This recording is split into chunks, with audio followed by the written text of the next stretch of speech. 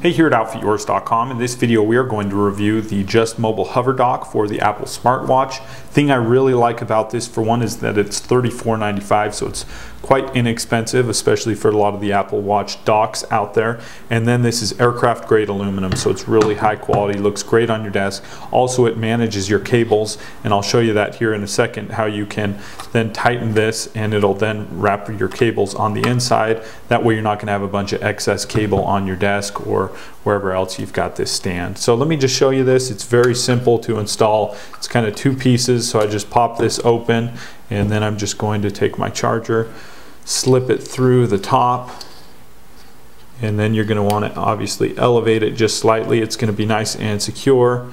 Um, then here I'm going to just wrap this around